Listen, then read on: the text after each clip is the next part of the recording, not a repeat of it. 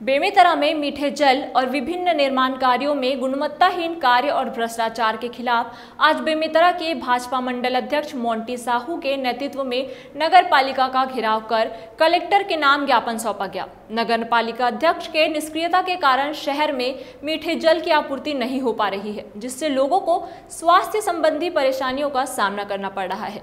पिछले कुछ वर्षों में विकास कार्य व निर्माण कार्य बंद पड़े हैं, जिसका विरोध करते हुए भाजपा द्वारा नगर पालिका परिषद का घेराव किया गया और 15 दिनों में मीठे जल की आपूर्ति नगर निगम द्वारा नहीं किए जाने पर आंदोलन करने की बात कही गई। भाई की व्यवस्था हो। और पेयजल की तो बात ऐसा है कि अब इस साल गर्मी ज़्यादा पड़ी तो इनकी पोल खुल गई। प्रत्येक वार्डो में पेयजल का अभाव है।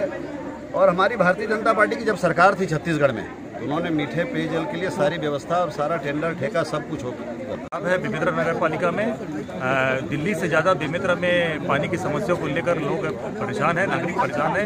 पीने का पानी नहीं मिल पा रहा है नहाने की बात तो बहुत दूर है लेकिन नगर पालिका के प्रशासन शकुंतला साहू से लेके सीएमओ और कांग्रेस के पार्षद लोग ध्यान नहीं दे रहे हैं। किया गया है कि नगर पालिका में नगर पालिका के अध्यक्ष और सीएमओ को उदासीनता के कारण शहर में जो मीठा जल मिलना चाहिए, वो नहीं मिल पा रहा है। नाली की सफ़ाई नहीं हो रही है।